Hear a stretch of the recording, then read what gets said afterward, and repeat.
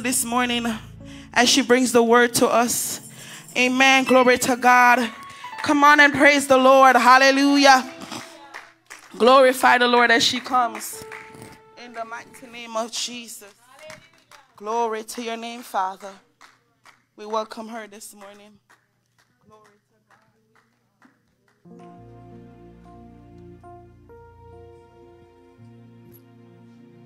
Hallelujah. Hallelujah, Jesus. Come on and just praise God this morning. Hallelujah, Jesus. He is worthy. Hallelujah. He is worthy to be praised. He is worthy to be exalted. Hallelujah. I don't know about you, but I feel God this morning. Hallelujah, Jesus. If I am honest, I am so nervous. Praise the Lord. But there's just something about the presence of God. Hallelujah. Hallelujah. Let me just get my greetings out the way because I love the atmosphere that we are in at this moment. Hallelujah. First, I just want to greet everyone. I, I want to start off by honoring my pastors, Pastor McLeish, who is absent on assignment, um, to Lady McLeish, who is here this morning. Praise God, greetings to my husband, who is viewing online, and to every officer, visitor, and those watching on Facebook. God bless you this morning. And above all, I honor God this morning, for without Him, I am absolutely nothing. Praise God. I just want us to just take another few moments just to give God thanks. Hallelujah. If you are here this morning, it means that God has kept you. Praise God. Count it a blessing to be in good health. Hallelujah. Because it's not until sickness comes that we realize that sometimes we take health for granted. Glory be to God. If I am completely honest, saints, I, the past few, few months, I have not been feeling my best. And even this morning, I was struggling, but I know who God is and I know what he is capable of doing. I am so thankful for Evangelist uh, Mahoney for moving as the Lord led her because I saw that in my spirit that, that there's an attack uh, uh, towards God's people of having them have sickness in their body. But I know God to be a deliverer this morning. I know Him to be a healer, not just physical sickness, even if it's mental, emotional. God is able to heal, deliver, and set you free this morning. And so I just want to just remind somebody before I go into this word that God is able. There's nothing that God is incapable of doing on today. Glory be to God. It may seem like a big thing. It may seem like this thing is not going to go away, but God is able. Hallelujah, Jesus. God is indeed able. And I give God thanks this morning. Glory be to God. Hallelujah, Jesus. Praise God. We are just going, time is going a bit, so we're going to go into the word for this morning. Praise the Lord. Um, if you all have your Bibles, you can go ahead and follow along with me to the book of Jonah. And we are going um, to be going a bit back and forth with the scriptures, seven scriptures, but we are going to jump. Praise God. So, Jonah chapter 1 um, verses 1 through 3. And we'll start there. And it reads thus Now the word of the Lord came unto Jonah, the son of Amittai, saying, Arise, go to Nineveh, the great city, and cry against it, for their wickedness is come up before me. But Jonah rose up to flee unto Tarshish for, from the presence of the Lord, and went down to Joppa. And he found a ship going to Tarshish. So he paid the fare thereof and went down into it to go with them unto Tarshish from the presence of the Lord. We are going to jump to Jonah chapter 2, verses 1 through 2. And it reads thus Then the Lord prayed, then Jonah prayed unto the Lord his God out of the fish's belly and said, I cried by reason of my affliction unto the Lord, and he heard me. Out of the belly of hell I cried, I and thou and thou heardest my voice. And then we're going to flip the page to Jonah 3, verses 1 through 3, and it reads thus And the word of the Lord came unto Jonah the second time, saying, Arise, go unto Nineveh, the great city, and preach unto it the preaching that I bid thee. So Jonah arose and went unto Nineveh, according to the word of the Lord. Now Nineveh was an exceeding great city of three days' journey. And here ends the reading of God's holy word and is already blessed. And we give God thanks this morning. Hallelujah. Father, I bless you this morning. I honor you, Father, and I give you thanks, Lord Jesus. Father, as I come before your presence on this morning, Lord, I'm so nervous. But Father, I pray, my God, that you will speak to your people on today, Father. I pray, God, in this present moment, Lord God, that you will just put myself aside. And I pray, Father, that God, you will speak to me, Lord God. Empty me, Father, of everything that's not of you, Lord. Lord. And I pray, Father God, that you will speak to the house, speak, God, to your people, what it is that they are in need of, Lord God, this hour. Father God, you know them, oh God. You know everything concerning, God, your people. And I pray, Father God, that in this moment, Father, that God, you'll just use me as a mere vessel, my God, to speak unto your people this morning. And so, Father, I ask, my God, that your Holy Spirit, God, will move in this place, Father. Have your way, Holy Ghost. Have your way, Jesus. In the name of Jesus, Lord, I pray. Amen and amen. Praise God. Hallelujah. Praise the Lord. Um, this past Wednesday, uh, the Lord's, and you may all be seated. Praise God. Um, this past Wednesday, the Lord spoke to me concerning the topic that we've been on, which is obedience. And as he spoke to me, um, he told me to go to the book of Jonah. Now, we've been on the topic of obedience, but this morning I want to talk about the opposite of obedience, which is what? Disobedience. Amen. Um, I believe that most of us, if not all of us, have heard the story of Jonah. Um, as a child, we were told that Jonah was swallowed up by a large fish, and some assumed that it was a whale. And after three days, the large fish spat Jonah out after he was in the belly of the fish. And um, even now, some Christians who, there are some Christians who argue that the story of Jonah wasn't even real because, I mean, what human can be swallowed by a large fish and survive, right? Um, well, my response to that is if you have trouble believing in that story, you might as not well believe in the entire word because we know something about the word and we know that God is in fact able to do that which seems impossible. Amen.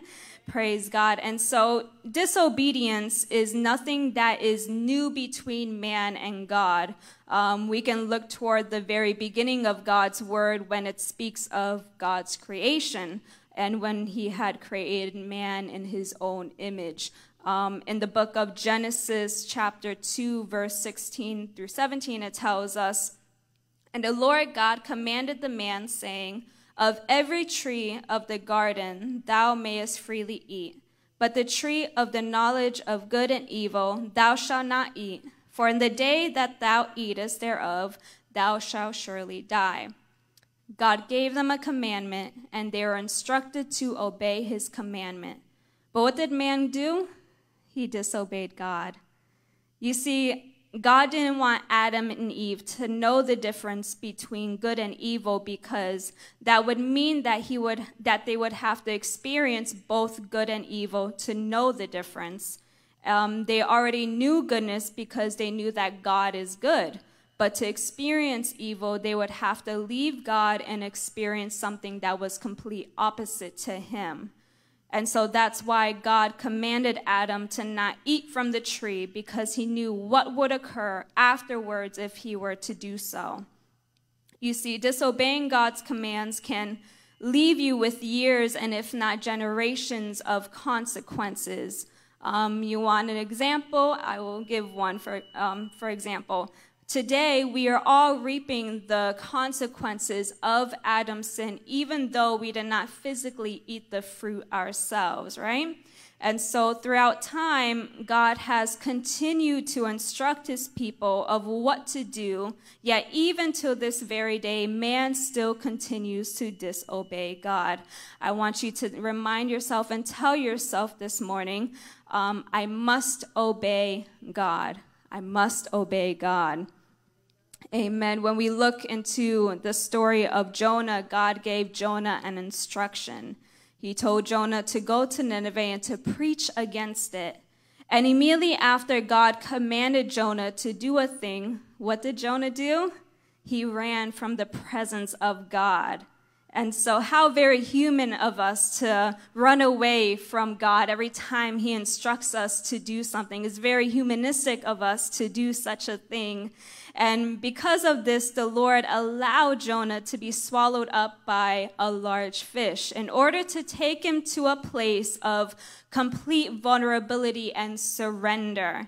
And so he had to bring Jonah to a place where the only person that he could cry and speak out to was no other but God himself. Amen. And so has God ever taken you to a place of that rock bottom? Has God ever taken you to a place where all you had to do was just surrender to Him? You didn't know what else to do in your life, who to run to, who to go to, but He had to bring you to that dark place where all you could do is just cry on the name of the Lord. I don't know about you, but I myself have been in that place.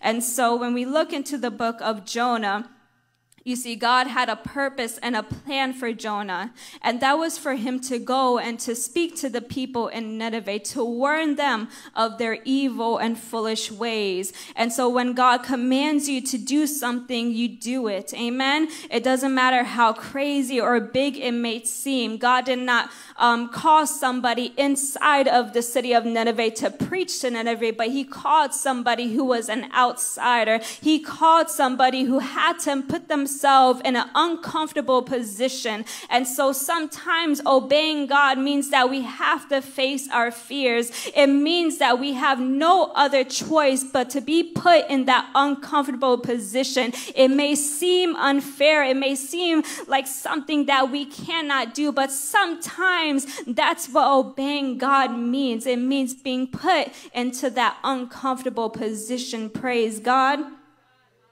Hallelujah. Praise the Lord. You see, obeying God sometimes means doing the opposite of what your flesh desires. You see, us humans, we have a very difficult time obeying God. We want to go about doing things our way.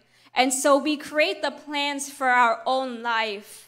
And I wasn't here last Sunday, but I heard the word that Prophet McCray had ministered and had preached. And um, when Pastor called me on this past week, I already knew I was preaching before he even called me.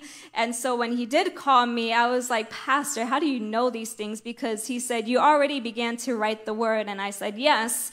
And um, the Lord had me to stay on the same topic that we have been on, which is obedience. And then I asked the Lord, um, I said to the God, why are we still staying on this topic? Because Prophet McCray speak, spoke on it. Um, Mother Shirley spoke on um, total commitment. Praise God. But I heard the Lord tell me that He wants the church to hear it another time. Praise God. And so I want to tell those who are hearing me this this morning to stop doing things your way and stop creating your own plans. Praise the Lord. In John 14, praise God. Hallelujah. In John chapter 14, it tells us that if you love me, you would keep my commandments. Praise God. The word also tells us to be ye holy, for I am holy. But no, we want to continue to live a double life. We want to continue to act a certain way in church and then outside we're a completely different person. God told Jonah that the wickedness of Nineveh was before him. So what makes you think that God cannot see what it is that people do behind closed doors? What makes you think that God don't see the intent and purpose of man? Why is it that some people think that God does not see the very things that occur behind closed doors? Glory be to God. And so what makes you think that God don't see the plans that you are making for yourself? God is all seeing, He's all knowing, and God is not a fool. He knows the plan and the heart of man, even when some people try to put on an act and a show. God knows what they are doing. Glory be to God. And so you can't put on an act before God. You can't uh, put on a mask before God because God is able to see all things concerning your life. Praise God. And so when we look into being disobedient, disobeying God means that you are in rebellion. The Bible says that the ox knows his owner and that the do- donkey knows his master's crib. But Israel does not know. My people do not understand. When we look at, at that, that scripture in the Bible, God is saying that the animals know their owner. An animal knows his owner. But how is it that we do not know our God? How is it that we still continue to struggle to obey. An owner, an owner tells a dog to sit, the dog will sit. You tell a dog to give him your paw, the dog gives you the paw. But God tells you to do something. What do we do? We run from God. We disobey his commandments. Glory be to God. Glory be to God. And so, God is not going when we act according to our own plans, God is not going to bless something that is not His will nor His purpose. I remember last Sunday on Facebook Live, because I wasn't here, Elder Shirley had wrote something and it stuck with me. God is not going to bless a mess. God is not going to bless something that is not His will or His purpose. Glory be to God. And so, to be an apostolic, it means that you relate and believe in the teachings of the apostles. So, why do we, as some apostolics, continue to act and walk as though we don't know the truth? Why is it that sometimes we continue to walk like we don't know, have never heard the word of God? We know right from wrong, but yet we still continue to disobey God. We still continue to have the, those moments of, of doubt. And I'll, I'll be honest, sometimes I, I do doubt myself when God speaks to me to do something. Praise God. And so I know I'm not the only one. Praise the Lord. And so the word of God tells us a double minded man is unstable in all his ways. And yet many are continuing to live the lifestyle of having one foot in and the other one is out. Praise God. And so, saints of God, it doesn't take much to disobey God. It don't take much to break his commandments. All it takes is just one word, one action, one thought, and you'll find yourself in a place called rebellion. You'll find yourself in a place called disobedience. Praise God.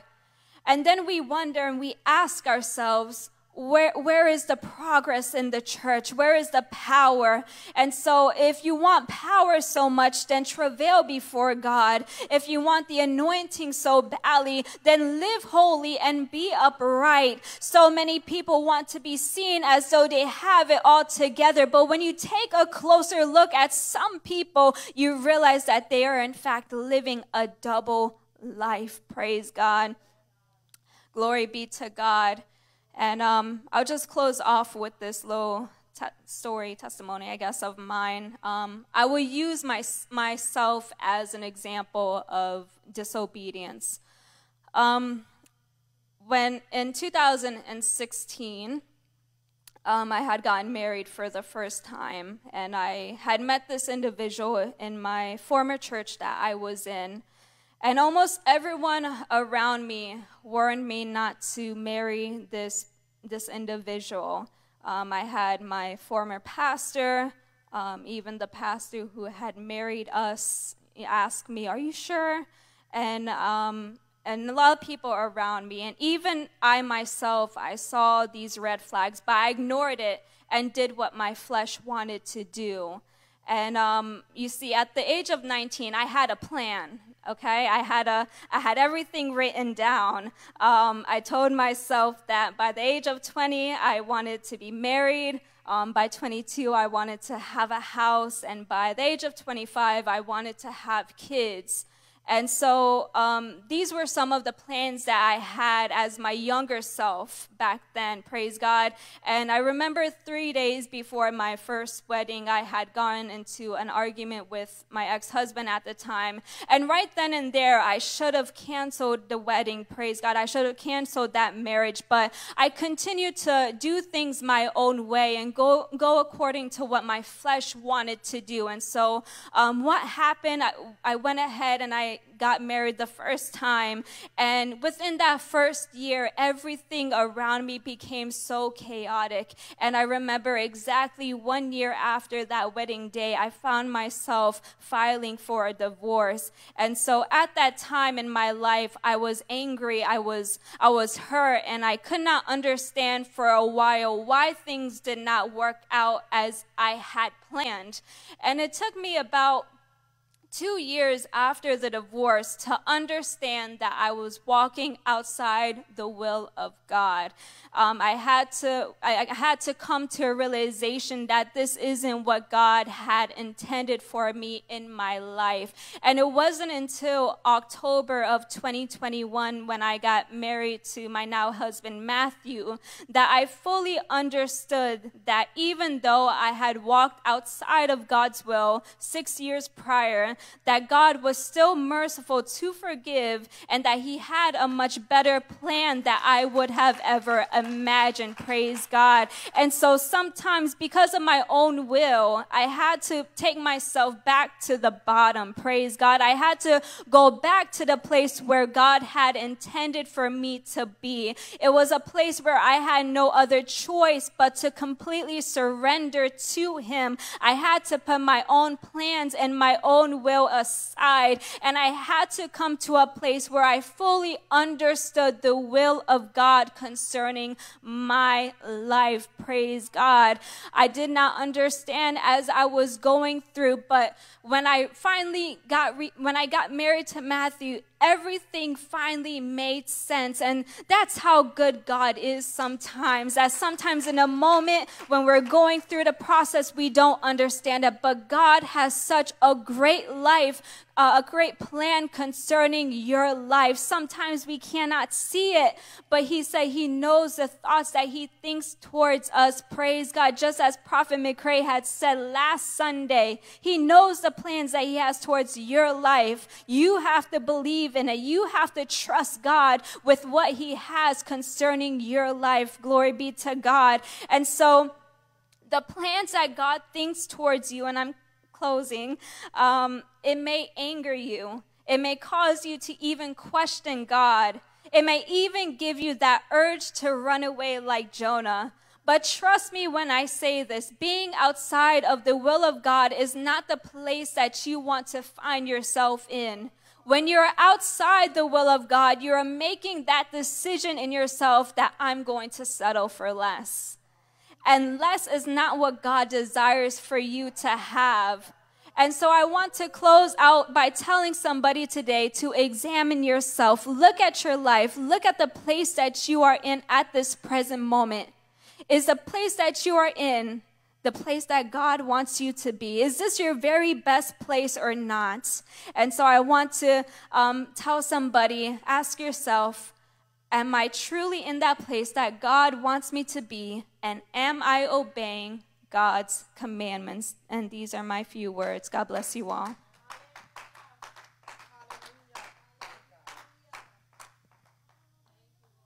Praise the Lord. Hallelujah. Glory to God. Hallelujah. Hallelujah. Glory to God. Come on and praise the Lord. Glory to God. Hallelujah.